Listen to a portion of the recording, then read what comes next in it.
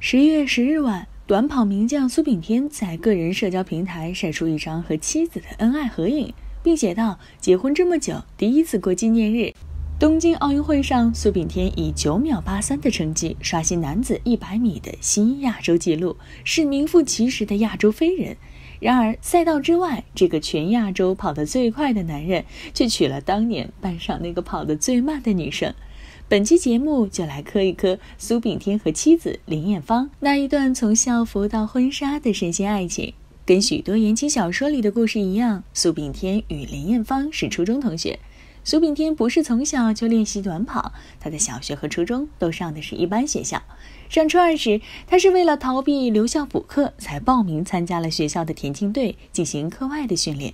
林艳芳是班花，品学兼优；苏炳添是体育特长生，阳光帅气。初中军训上，两个少年相识。尽管当时林艳芳素面朝天，但外貌出众，吸引了不少人的目光。不过，苏炳添注意到的却是林艳芳的自行车。那时候的林艳芳少女心爆棚，在自行车上贴满了卡通贴纸。苏炳添觉得这个女孩一定很特别。相比之下，林艳芳对苏炳添的第一印象就丰满多了。第一次见她的是初一军训的时候，刚开学，每。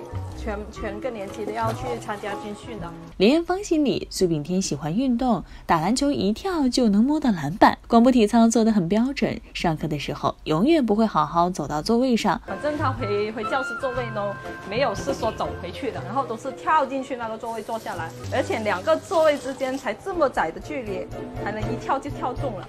二零零四年十一月，十五岁的苏炳添第一次参加了正规的比赛。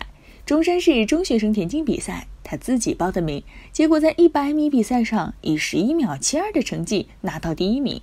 而这时候，同班同学林艳芳几乎是全班跑得最慢的女生。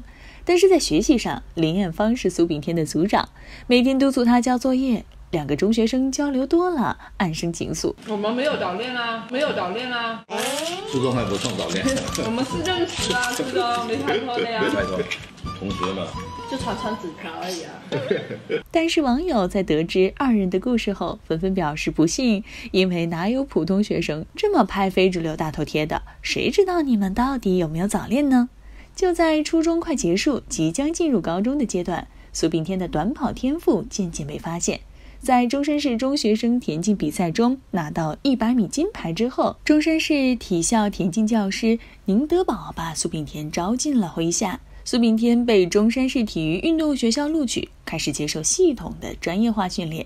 在中山体育运动学校的几年时间里，苏炳添的成绩开始突飞猛进。在市体校训练，也让苏炳添和林艳芳不得不开始了每周只有见一次面的异地恋。于是，他们发明了日记恋爱法。苏炳添特意买了个日记本，用来写自己每周的经历和想给林艳芳说的话。然后两人每周在苏炳添上幼儿园的门口见面，把本子转交给对方写。就这样，日复一日，竟整整写满了两大本。进入体校一年后，苏炳添在一百米和两百米中都跑出了接近健将级运动员水平的成绩。他因此被招进了广东省田径队，进行更高级别的训练。成绩越来越好，但林艳芳见面的次数当然也越来越少，从一周一面变成了一月一面。当时还没有高铁，为了和苏炳添每月一次的见面，林艳芳早上五点钟坐最早班的大巴车和苏炳添见上一面，再坐上大巴独自回去。二零零九年，在多次大赛夺冠的苏炳添顺利进入国家队，比赛和训练让土生土长的广东仔苏炳添离开家乡去往北京，甚至世界各地。和女友的异地的距离就更远了。为了能实时联系，他们俩办了互打电话免费，号码只差一位的情侣号。直到现在，两人的电话号码都没有换过。从确定恋爱关系开始，苏炳添和林艳芳经历了漫长的异地恋。但聚少离多没有影响他们的感情，从十几岁到二十几岁，人生的变化也没有打破他们的誓言。苏炳添更是认定了这个女友，甚至在结婚前就将财政大权交到了林艳芳手里。二零一五年，在国际田赛钻石联赛男子一百米决赛上，苏炳添跑出了九秒九九，闯入十秒大关，全国人民都沸腾了。可比赛后的苏炳添却在为一件事发愁，那就是该怎么求婚。这时，苏炳添和林艳芳已经在一起近十年了。二零一六年奥运结束，苏炳添好不容易等到一个假期，叫上了几个朋友去自驾游，从中山一路开到汕头南澳岛上停了下来。结果，这个在奥运赛场上都不紧张的人，手捧鲜花来到海边，紧张到不敢看林艳芳一眼。二零一六年十月十日，苏炳添和林艳芳结束了十多年的爱情长跑。像网友所说的，从校服到婚纱，走进了婚姻殿堂。二零一七年十月十日，两人举办了婚礼。新娘子林艳芳为了穿婚纱更好看，在婚前拼命瘦身，每天跑步六公里。对此，身为短跑名将的新郎表示：“要和老婆比赛跑步的话，我是绝对不会跑得比她快的，一定要让老婆赢。”苏炳添是一个重视家庭的男人。结婚以后，他的内心反而坚定了，更能专注自己的短跑事业。林艳芳也成为了最忠实的粉丝和鼓励者。苏炳添越跑越快，在赛事上屡屡打破纪录。二零一八年亚运会男子一百米决赛上，苏神跑出了九秒九一的成绩。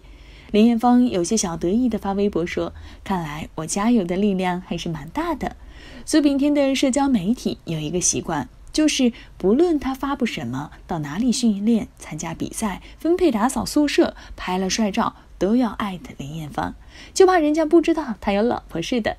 有次比赛结束后，苏炳添在微博上抛出了林艳芳的照片，配文写道：“终于到家了，老婆辛苦了，奖牌有你们的一半。”你们从这个用词是傻子也猜到了，这两人是有宝宝了吧？二零一八年七月十一日凌晨，苏炳添刚刚结束欧洲的比赛，还在回国的飞机上，林艳芳顺利生下儿子小天天。其实我呃从瑞士上飞机之前，我知道我的太太准备要呃进医院了。你要想进医院的话，就是代表医生说准备就要分娩了。我当时一上飞机的时候，我觉得特别怕自己赶不上。然后一上飞机啊，就一直想，哎呀，现在怎么样？也不能上网，不跟他联系怎么办？哎呀，七月十一号的十二点十分左右降落了北京。一打开手机，噔噔噔噔噔噔噔噔噔噔噔，哇！一张什么新闻？各种新闻的上都说了，全中国的人都知道苏炳添当爸了，他自己不知道。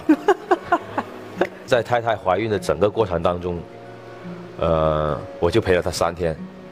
再见到他的时候，孩子已经出生了，所以我觉得我太太确实给了我一个非常强劲的后盾。要是没有她这种坚持、这种坚忍的能力的话，帮我管好了自己的家，真的才让才可以让我在外面好好的比赛训练。所以我要更加清晰的告诉自己，我要在外面的话，一定要做得更好，我用成绩来回报他们。虽然因为训练，苏炳添不能常常陪伴在孩子身边，但苏炳添每天都会和小天天视频一个多小时。孩子生下来以后，我跟孩子见面的时间也没有到三三天换四天嘛，嗯，直到他满月的那天，我过去看他，然后那天之后我就一直没有看他，所以对我现在的心情来说，我是非常想把所有的比赛都结束了，很想回家多陪他一会儿。